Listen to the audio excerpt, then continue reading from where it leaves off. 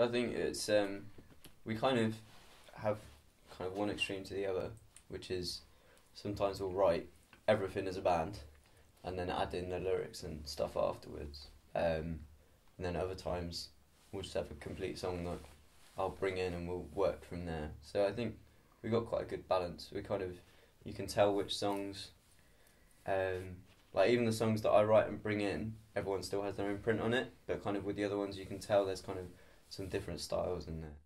Our influences are all sort of different. Um, I come from more of like a sort of like hardcore background, like metal stuff. Um, Lawrence is the same, I think. Yeah, um, yeah, mine's pretty similar. But I still love a bit of pop punk, so that's why I enjoy being in this band and stuff. I've kind of ruined everyone because they all like quite heavy music, and then I came along listening to Take That and Coldplay and was just like, come on, let's pop this up. um, I think it's quite a good middle ground as well the music that we play because it's kind of like we've got heavier bits and then we've got poppier bits and then we've got punky bits and Yeah. stuff.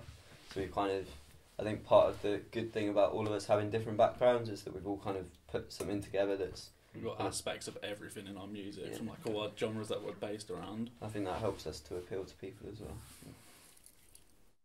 there there have been points where it gets to like you know where do we go from here you know try to do this and that idea and sometimes we you know yeah like disagree on like you know what works best and here and there. But i mean um we do get there eventually but um yeah it, it doesn't come without its challenges in that sort of sense. I find for myself, I like I tend to sort of rush things a bit. Like I want to, if I've got an idea, I really want to get it like down and and out Yeah. there like with the guys. But then, but it's just like I need to like slow I think- down sometimes. I think that yeah. might be something that because Lewis joined a bit later. Um, I think we've kind of the three of us have learned that putting stuff out there as soon as you have it, as much as you want to, is not always No. really a good idea. No.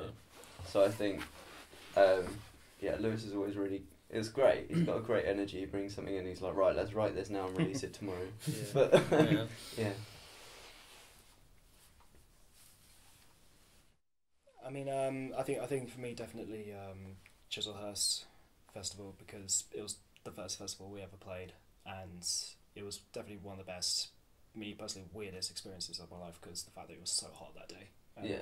We were so dehydrated, and um, I admit, you know, went a bit overboard with the uh, free complimentary um, food and booze that they gave to, to, to all the um, artists, and uh, yeah, that didn't help towards dehydration, and I couldn't.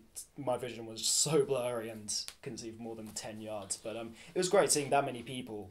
Like even if they were just sitting there, just chilling out in the sun and stuff, like I'm not actually watching us, just having them there, just having such a big audience, it was very fulfilling, and uh, especially at the end when um, after our set we got off stage, um, we me and you came across this uh, father that came across with came to us with this little kid, and oh, um, sweet.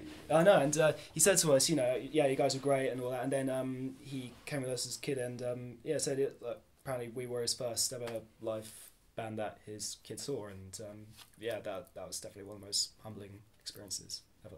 It's pretty cool. It's quite cool to know that even though you're like a tiny little band, you can still kind of have a milestone Yeah. like that for someone's life. Like, that's pretty cool. Definitely.